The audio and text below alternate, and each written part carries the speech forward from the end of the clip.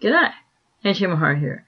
And in this video I want to talk a little bit about the mi mindfulness self-control that each person can practice in their own lives that is the best protection against the borderline personality disorder, especially the narcissistic personality disorder, uh, abusive people, and the psychopathic abusive people targeting. Anyway, um, self-control is the best defense. And self-control for so many people, it can be the hardest thing to really kind of learn. And I'm going to talk in another video about why that is for a lot of people, especially adult children of a parent or parents with borderline person, anything cluster B, borderline personality disorder, narcissistic personality, or psychopathic uh, antisocial personality disorder. So anyway, in this video about self-control, you know, versus reactivity or defensiveness or kind of falling into that trap, bait, hook, and trap of the narcissist, to some degree the borderline, and or a psychopath. So emotions, of course, are healthy, right? And they have purposes. So, for example, you know, if you feel angry, sometimes that might be because something feels like quite an injustice, or is an injustice, or is very unjust. And then sometimes, you know, you might feel sad because maybe you've experienced a loss, whether that's a loss of a job, a loss of a friend, um, a loss of a pet, a loss of a loved one, different types of loss in life as well. And so those emotions are healthy and, and um, for some people they're very difficult to manage. But all the emotions that we do have with regard to anything having to do with any experience in our lives are um, are best regulated in a self-controlling way through mindfulness. So, um, before I just go there, I just want to say, so emotions are healthy to start with. So how come they can cause us so much trouble? Or how come they can cause so many people so much trouble until and unless they learn how to like stop allowing that inside, which is really a, you know, for, for various different people, it's a very, depending on what your issues are or if you have a personality disorder, um, very difficult thing. And for others, not as difficult, but it's doable. You know, especially for those who are more used to being around those with personality disorders and affected and abused by them and, and not the other way around. So, um, emotions are really healthy. That's, that's where we want to start with that kind of like framework and understanding. And, and also it's important, mindfulness helps us to not separate or, or differentiate good emotions from bad emotions. Emotions just are, are emotions. They're just what we're feeling. Okay, so, uh, what happens to the healthiness of emotion that might be regulated or reasonable to feel based on experience when, when emotions become troublesome and lead to people feeling um, like they don't have self-control. Or very highly emotionally reactive or emotionally dysregulated or both of those things. Well, rumination. You know, that's too much focus on the same thoughts over and over, ruminating about what just happened, ruminating about what the borderline in your life just did, or the person with BPD, or ruminating about what a narcissist is doing, or has done, or how affected you feel by them, or a psychopath, how affected you feel by them, and how, you know, in the case of a psychopath, they're preying on you, but sort of narcissists, malignant narcissists are as well. And, and that really takes its toll and that really feels terrible and that's painful and that's suffering and turn around and be nice to you and you get confused and so anyway, in that landscape then, mindful self-control is the only and the best protection. So how do you understand or learn or develop or get better at or begin, wherever you are in this journey, to be able to have just your healthy emotions and and and and not have them lead to real reactive like hype like you know real intense reactivity or um, emotional reactivity uh, which then just is about being hooked and trapped and ensnared by um, some in some cases BPD but but the narcissist or the psychopath well, if you start ruminating about these thoughts, which a lot of people will because you're trying to figure out what's going on, right? And it doesn't make any sense. And so the rumination it, that becomes the focus. And that rumination leads to maladaptive or dysregulated emotions that lead to highly reactive behavior. Because the more you think about it, the more you focus on it, the more confused you are by it, the more you don't understand it, the more you don't know what to do with it, the more you can't you can't resolve it with the narcissist or the psychopath, and you can't, or necessarily somebody with BPD, you can't kind of like get any resolution, and then they kind of like switch it up, and they're nice for you know 10 minutes or half a day or something, and then they come back at you again and the cycle repeats itself and you're ruminating, ruminating, focusing on like, what is going on? Why do I hurt so much? Why is he or she doing this? And then it's that sort of internal rumination of focus about what's happening with them and how can you fix it and why don't they change and will they change that takes um, what could be otherwise healthy emotion and, and makes then put your emotions in a category of um, maladaptive or um, dysregulated. Mindfulness is a really effective tool to regulate emotions and gain more self-control over reaction and behavior. Mindfulness will help you to increase your own awareness of your own emotional signals. What you're actually feeling inside and then with more insight, why? And this helps us to control behavior, to slow down reactions, so that we don't feel so controlled. Mindful self-control, mindful emotional self-control, helps us to replace feeling controlled by feeling in control of ourselves. So out of control with, with in response emotionally to a borderline or a narcissist or a psychopath and what they're doing and the baiting way in which they're doing it, at least in the narcissist and the psychopath. And with BPD, it's a little different, but there's still some things going on there that aren't always healthy for people.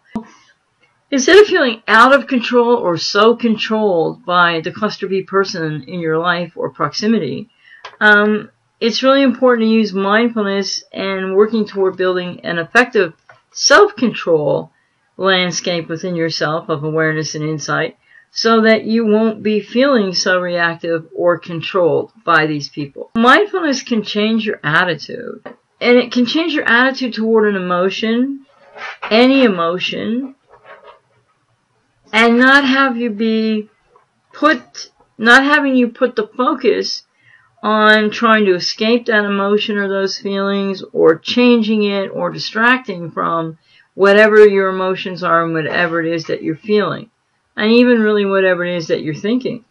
Mindfulness encourages you to practice observing your emotional experiences, and also would add in thoughts and feelings without trying to distract, get away from them, or change them in any way, shape, or form.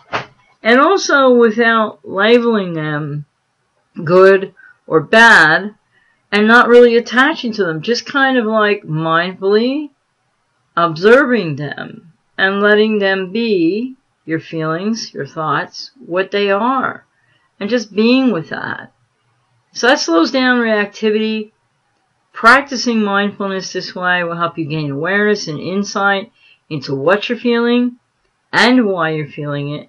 But more importantly, it will help you to just slow down perhaps what is for a lot of people a pattern, automatic, kind of really reactive response to somebody with BPD or a narcissist or a psychopath.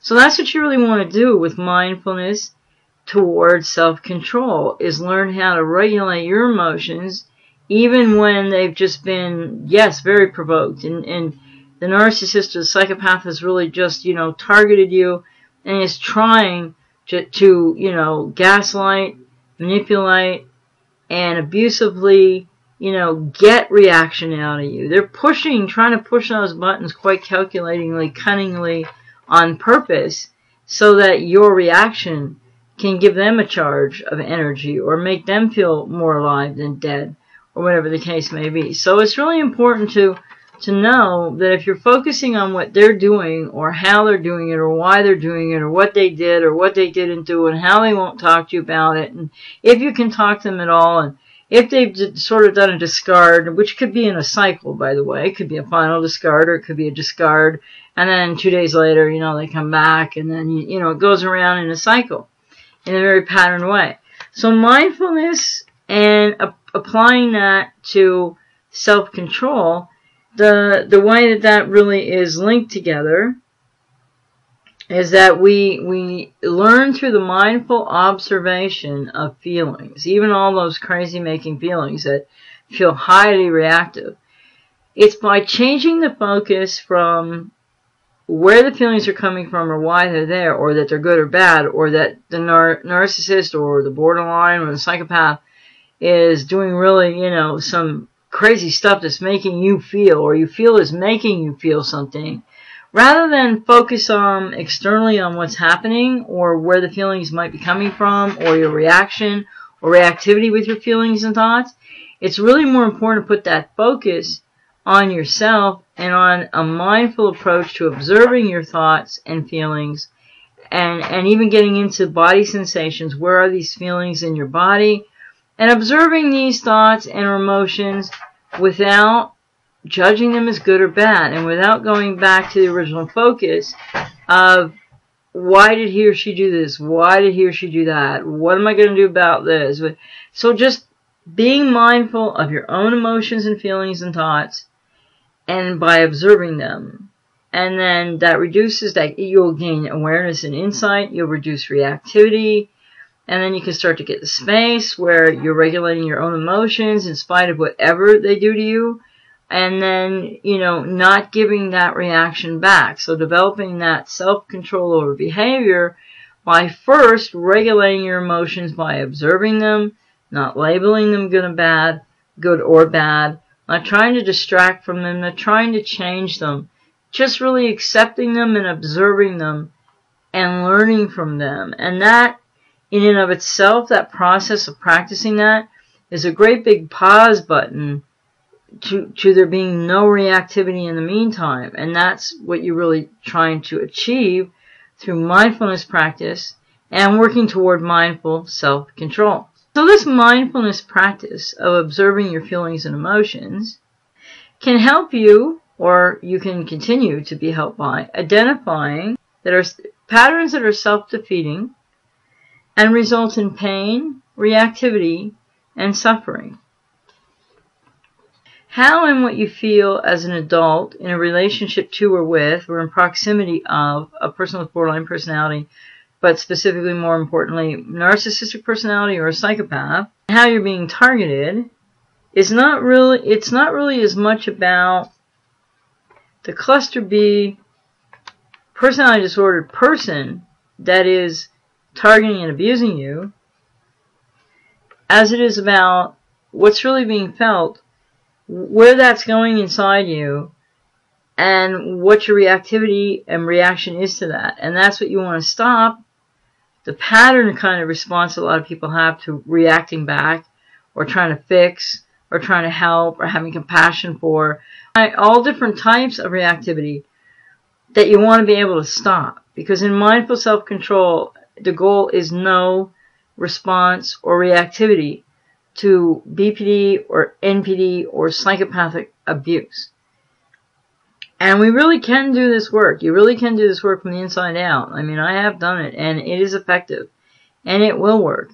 But it is a process and it does take time. And I work with clients in this too. So if you feel like reaching out for a few sessions might help you to learn this, um, please feel free to do so by checking out my website at phoenixrisingpublications.ca or phoenixrisingpublications.com. A little bit of tough love here, but the truth is in mindful self-control, in the proximity or relationship to or with a person with borderline personality, narcissistic personality, or psychopath, we really need to take responsibility for how we feel.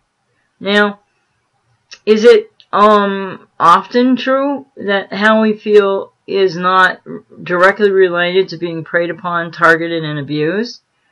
No, it, that's what's most prevalently true in these situations and circumstances, relationships, proximity, or a psychopathic, narcissistic, or borderline neighbor. um, or coworker. But the point is, we really need to take responsibility for what we're doing with the feelings once we've been abused, once we've been hurt, once we've been targeted.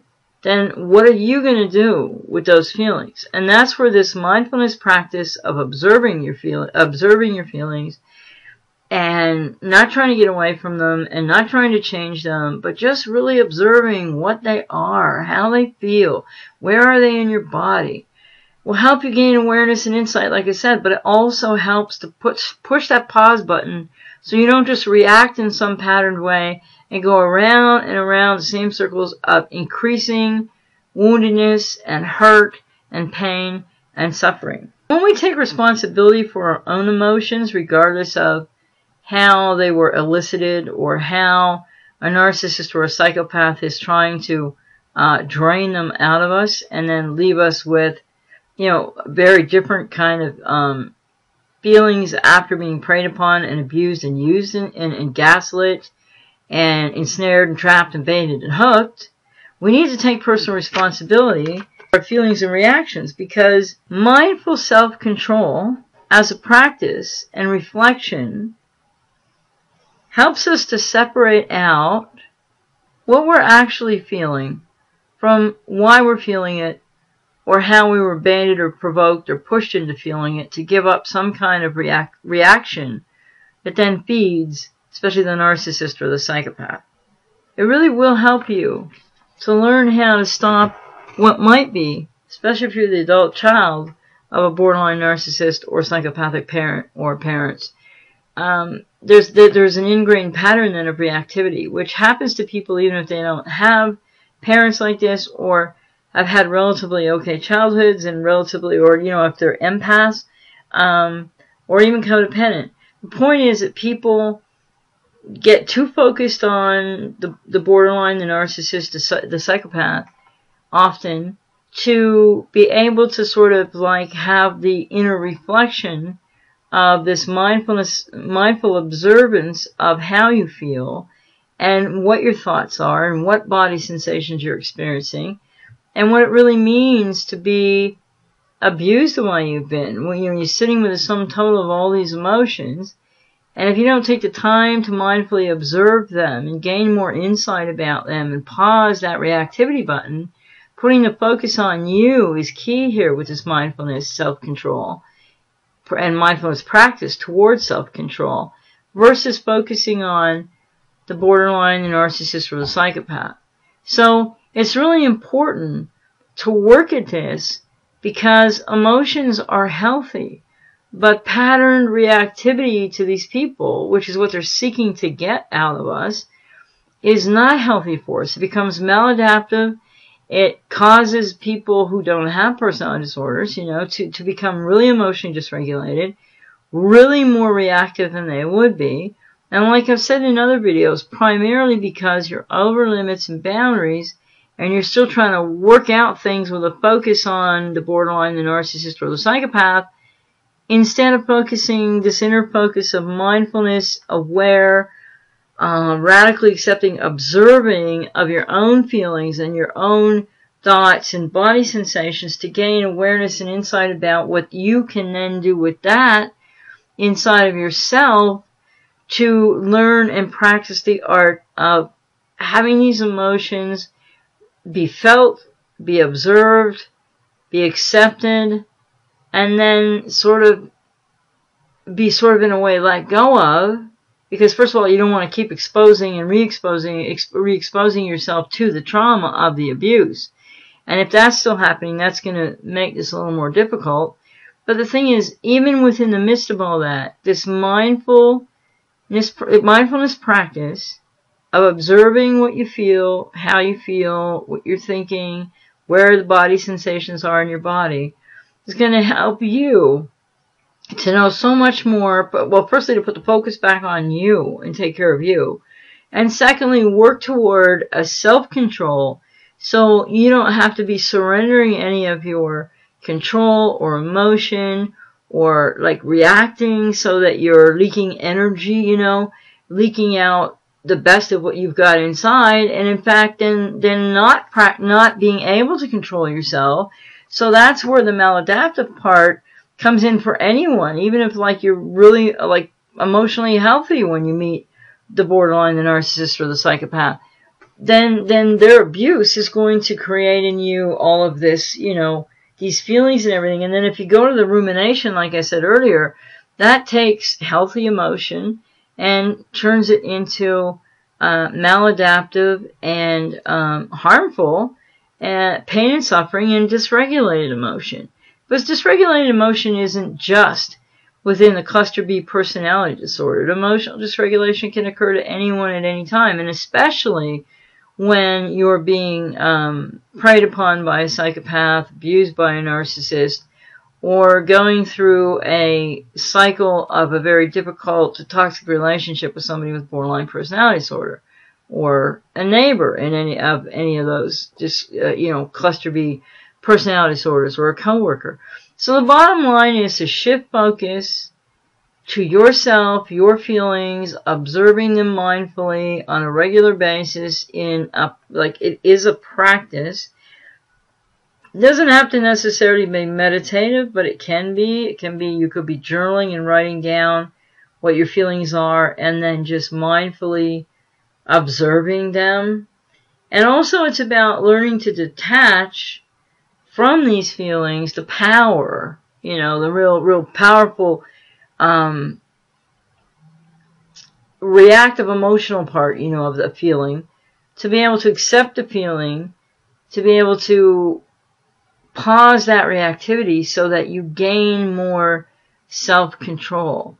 And you start to realize how you've sort of surrendered your self-control and now are being controlled by, specifically, you know, more so a narcissist or a psychopath, if you are in fact in high reactivity. Now you are sort of trapped also in emotional dysregulation and maladaptive um, emotional attempts at trying to cope with the pain and suffering that you're experiencing due to narcissistic psychopathic abuse.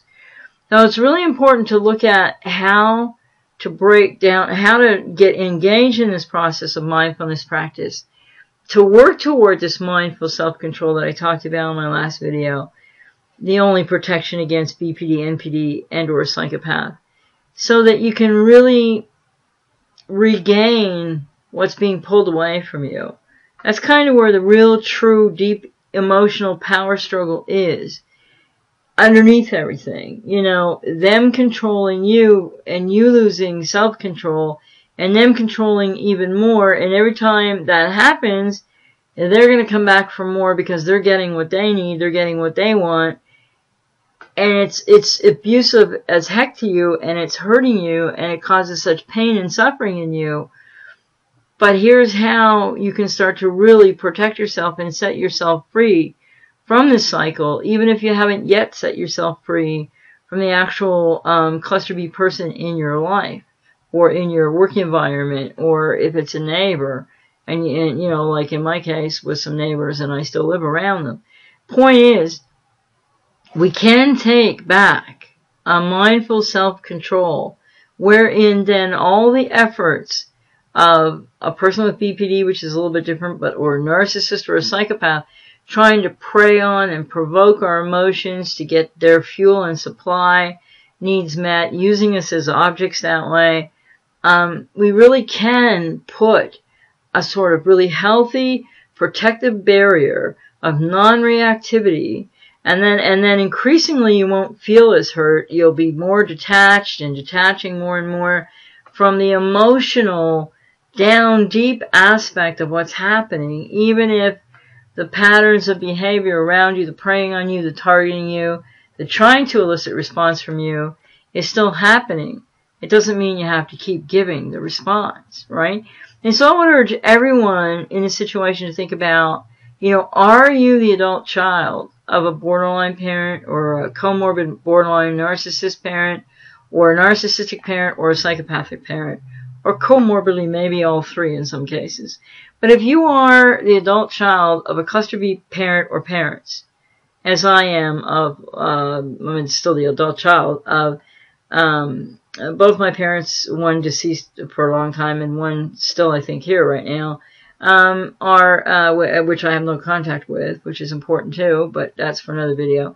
Um, the point is that uh, both my parents had narcissistic personality comorbid with borderline personality and were alcoholics. So I got trained at a really young age how to respond to their needs and wants and in a kind of people pleasing, uh, maybe even codependent way, even though I realized many years ago in my adulthood working through this in, in recovery that um, I'm actually an empath. So it's not that it has to be just you're an empath or you're a codependent or, you know, but it's the way we are trained, especially if you're the adult child. So it's important to look at that because that's where there are no defenses when we come out of that kind of training in mind control with with cluster B parents or a cluster B parent uh, to please them and everything revolves around them and we're not seen and then we're like over caretaking and it's role reversal.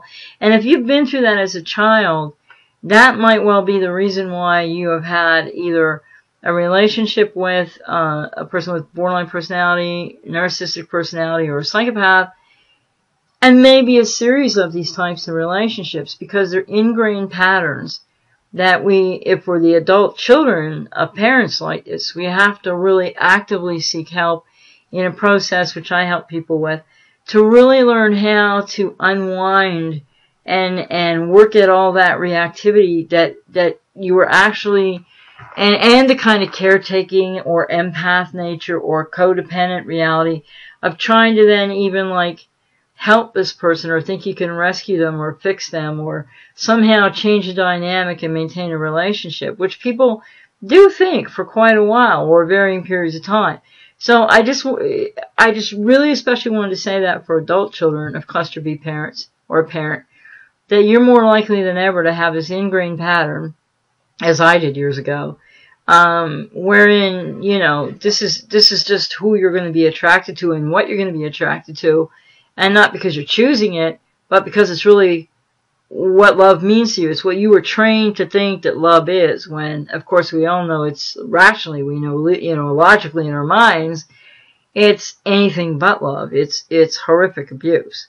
So mindfulness practice can help and make all the difference in keeping your emotions healthy, regulated, focusing on your own emotions, not being um, feeling controlled by the borderline, the narcissist, the psychopath, but rather having that sense and that boundary around where's your self-control and how you can learn to be the master of your emotions in a way that really creates the self-control, stops the reactivity, and for those who are adult children of cluster B parent or parents, can really help you step out of that ingrained trained pattern of high intense reactivity it just causes so much suffering and pain. And if you are still on this journey and if you are still struggling with self-control versus giving that away still to a borderline, a narcissist, or a psychopath, I work with people who have these issues and I help them change their lives and find this mindful self-control and go through the process of building that up. And so if you would be interested in talking to me about that, um, then please, you know, just check my websites, phoenixrisingpublications.ca or phoenixrisingpublications.com or ajmahari.ca um, for how to reach me and how to maybe uh, purchase or set up sessions if you'd be interested in that. Otherwise, you know, um, a lot of people do need a lot of help with this. I mean, I didn't get through this or learn what I've learned right now all by myself. And so I think it's really important to look for help with this, whether it's with me or someone else, you know, but I do do this work and have been doing it for 20 years. So anyway, I hope that was helpful, like I said, and if you're confused about anything, you know, um, please feel free to, you know, book a session with me and we can talk about it and we can clarify things because this is the only path out Okay, the only path out of the reactivity, the only path out of the pain and suffering. No contact is great, but whether you will have gone no contact first or no contact follows, this is the center core piece of work.